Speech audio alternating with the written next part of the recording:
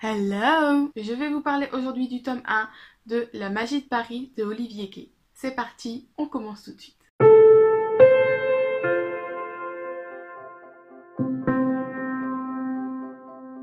Pour vous faire un petit résumé, je pense que je vais avoir un petit peu de mal à résumer ce livre euh, tout d'abord parce que j'ai oublié le prénom de le personnage principal. Euh, voilà, voilà.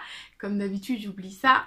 Bref, c'est pas grave. Euh, pour l'histoire, donc on va suivre ici une jeune fille qui va faire la connaissance du nouveau qui est arrivé dans, son, dans sa classe. Et en fait, un soir, alors qu'elle était au gymnase pour s'entraîner parce qu'elle fait de l'escrime, elle va être témoin en fait de, certaines choses et malheureusement elle va devoir euh, s'en mêler et ça va plutôt mal se passer pour elle. Suite à ça, son nouveau camarade va essayer de l'aider tout simplement.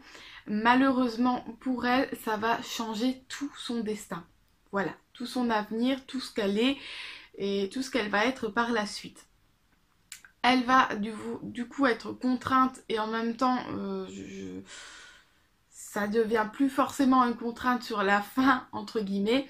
Bref, elle va devoir aider son nouveau camarade face à des ennemis euh, qui viennent d'un autre monde tout simplement, voilà des genres de monstres euh, qu'elle va devoir combattre auprès de, son nouveau camarade. Voilà, je je reste très vague parce que je ne veux pas trop rentrer dans les détails pour pas spoiler. C'est un premier tome, il y a beaucoup de choses à découvrir. Euh, c'est un premier tome, il est plutôt court et donc je ne voudrais pas euh, trop vous en dire. Le contexte un petit peu de cette lecture, il faut savoir que j'ai rencontré Olivier Gay euh, lors du salon de Montreuil très rapidement juste avant que je parte. Euh, j'avais entendu parler de lui bien avant ça, de ses livres également, mais je ne l'avais euh, jamais rencontré. Euh, il est fort sympathique. J'ai suivi sa chaîne YouTube du coup que j'apprécie plutôt aussi. Du coup je me suis dit qu'il était temps de sortir ce livre pour le lire, surtout pour le plib. Voilà un petit peu pour le contexte, le pourquoi j'ai sorti ce livre et j'ai voulu lire ce livre. Donc voilà, je voulais découvrir du Olivier. Alors ce que j'ai le plus apprécié euh, dans, ce livre, c'est les combats d'épée. Voilà, je ne suis pas habituée à lire ce genre de, livre. Et donc euh, le combat euh, à l'épée, j'ai plutôt bien apprécié, bien que j'ai trouvé parfois le personnage principal un petit peu trop vaillante, un petit peu trop héroïque à mon goût. Mais bon, c'est un détail. Alors c'est une lecture que j'ai fait en commun avec Axel, donc je vous mettrai euh, sa chaîne en barre d'infos. Et donc euh, nous avons lu euh, en même temps pour pouvoir en faire des, petits résumés.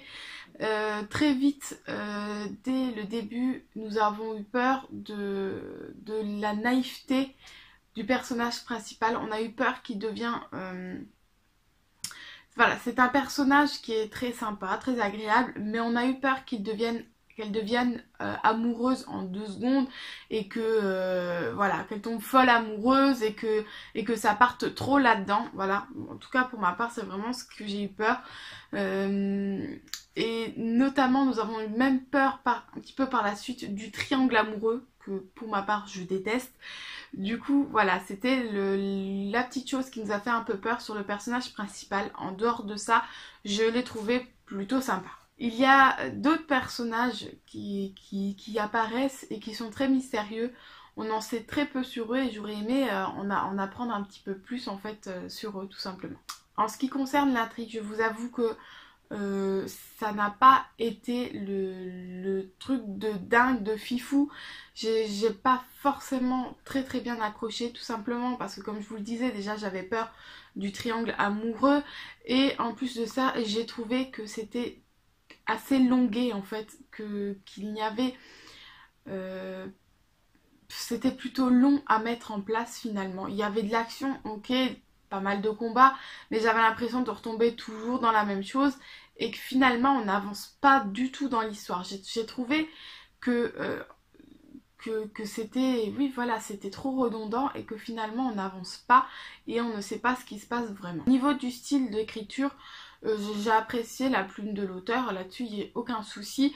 Euh, depuis le début, je, disais euh, à Axel que j'aurais aimé avoir un deuxième point de vue, celui de Thomas, qui est donc le camarade du personnage principal, parce que finalement de son côté on ne sait pas grand-chose et j'aurais beaucoup aimé découvrir des choses de ce côté-là aussi pour en apprendre plus tout simplement et avoir de quoi de quoi régaler un petit peu mes questionnements.